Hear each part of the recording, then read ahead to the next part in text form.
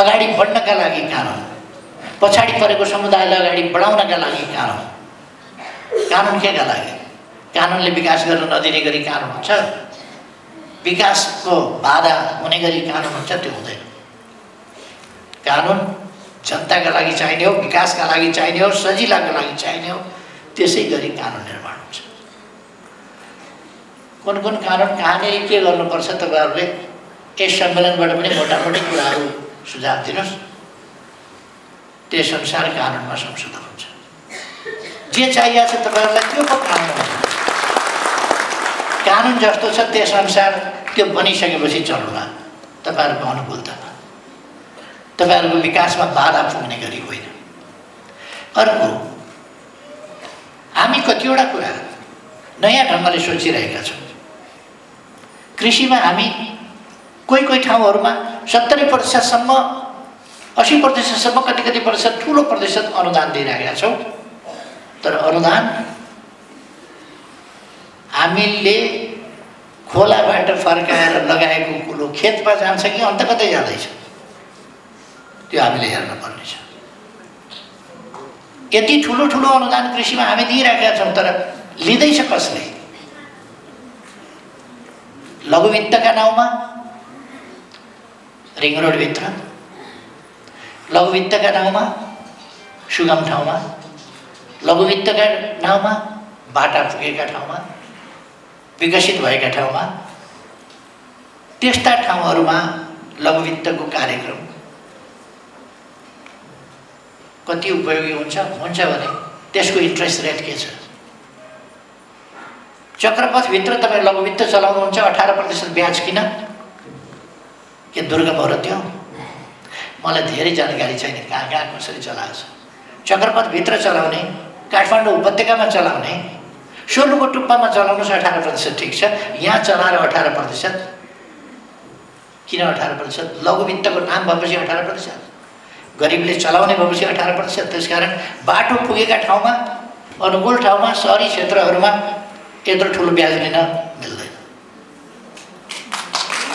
अब मैले अलिकति सुने यो लघुवित्त सञ्चालकहरू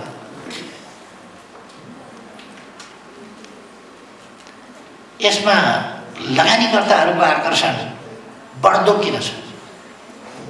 हामीलाई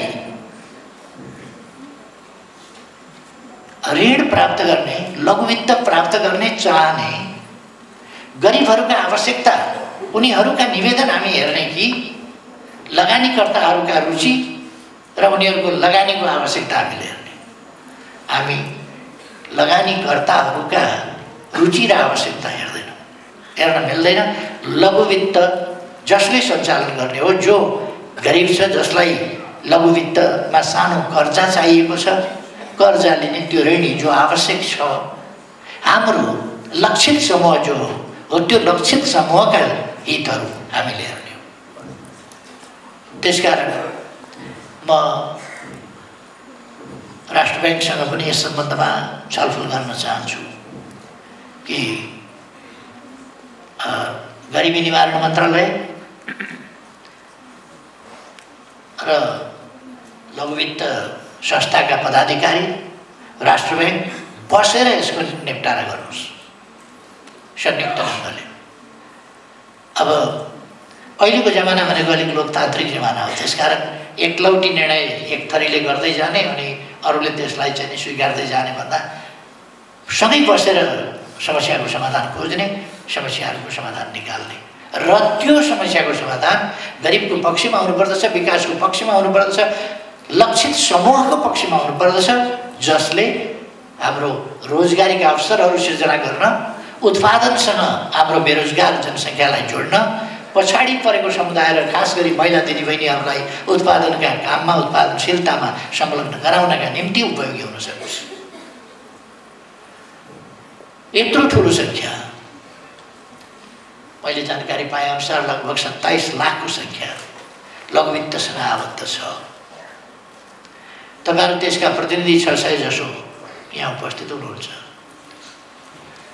तपाईँहरूले त्यो ठुलो पछाडि परेको गरिब र हातमा पैसा नभएको समुदायको प्रतिनिधित्व गरिरहनु भएको छ। यो समुदाय तपाईँहरूले प्रतिनिधित्व गरिरहेको त्यो सत्ताइस लाख चाहिँ उठ्यो भने त्यसले सिप आर्जन गर्यो भने त्यसले समृद्धि हासिल गर्यो भने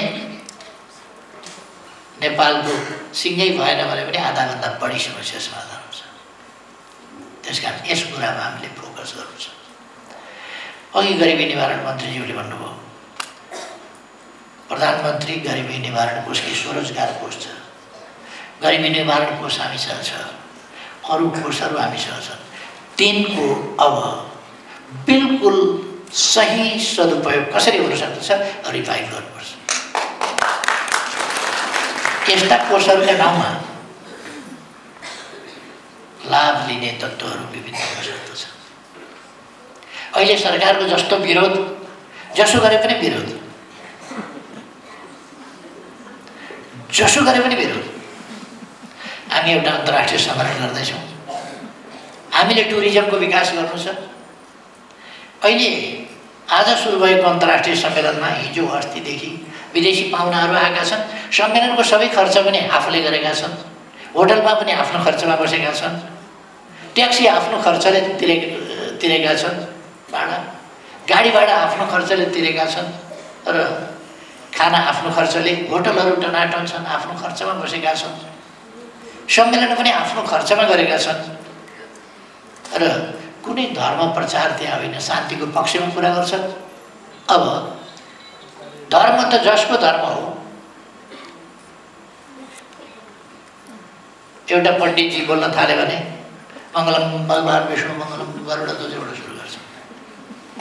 ओम शान्ति आकाश शान्ति पृथ्वी शान्ति धरती शान्ति पूर्व शान्ति पश्चिम गर्छ अर्को आयो त मुस्लिमले या इल्लाह गर्छ एउटा बुद्धिस्ट बोल्न थाल्यो भने उत्तम शरणम गच्छामि धम्मम शरणम गच्छामि। बाट सुरु। त्यो पनि नपाउने त कुरा भएन उसले आफ्नो कुरा गर्छ। कसैले भन्छ हामी सबै भगवान्का सन्तान हौ। कसैलाई झ्वाङ्सा छ म मेरा बाबुआमाको मात्रै सन्तान भन्छ भन्न पाइयो जसले जे भन्छ। बाबुआमाको मात्रै सन्तान हो भन्न पनि पाइयो। हामी सबै भगवान्का सन्तान हौ भन्न पनि पाइयो। म भगवान्को सन्तान हो भन्न पनि पाइयो। हाम्रो लडाइँ यस्ता कुराहरूसँग होइन र अहिलेको नेपाल सरकार भनेको एउटा मन्दिरको मठाधीश होइन। यो नेपालको सबै जनताको सबै आस्था विश्वासका जनताको सरकार हो। मैले एउटा कार्यक्रममा बोल्दाखेरि पनि भनेको थिएँ। शङ्कराचार्य आउनुभएको थियो। शङ्कराचार्यले भाषण गर्नुभयो उहाँको भाषण शङ्कराचार्यको जस्तो थियो। मैले पनि त्यहाँ बोलेँ। मेरो बोलाइ प्रधानमन्त्रीको जस्तो थियो। श्रोताहरूले शङ्कराचार्यसँग मेरो बोलाइ मिलेन भन्ने खालको कुरा गरेँ। मैले उहाँहरूलाई सोधेँ तपाईँहरूले के मलाई पनि शङ्कराचार्य बनाउनु खोजे हो? म त शङ्कराचार्य होइन म त प्रधानमन्त्री हो त्यसमा त्यस कारण म शङ्कराचार्य जस्तो बोल्दिनँ।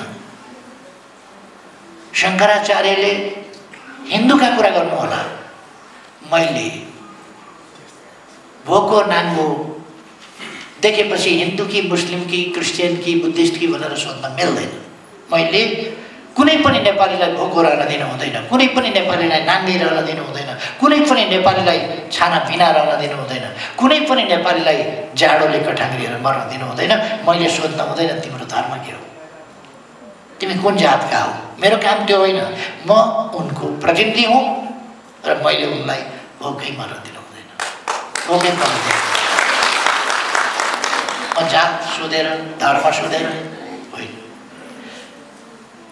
हाम्रो देश सहिष्णुतायुक्त देश छ हामी एक अर्का धर्मप्रति आस्थाप्रति विश्वासप्रति विचारप्रति सहिष्णु छौँ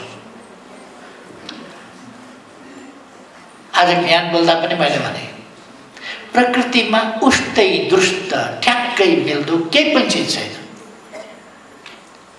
मान्छेको आँखा भनेपछि हामी बुझ्छौँ नि मान्छेको आँखा। उस्तै हुन्छ मान्छेको आँखा भने जस्तो थाहा पाइन्छ नि यस्तो हो तर विचार गर्नुहोस् त यति मान्छेमा कसैको आँखा कसैसँग मिल्दैन। कसैको अनुहार कसैसँग मिल्दैन मान्छेको अनुहार त उस्तै हुन्छ नि तर पनि मिल्दैन। मान्छेको नाक भनेपछि एउटा बुझिन्छ तर कसैको नाक कसैसँग मिल्दैन। मान्छेको मुख उस्तै हुन्छ तर एउटाको मुख अर्कोसँग मिल्दैन।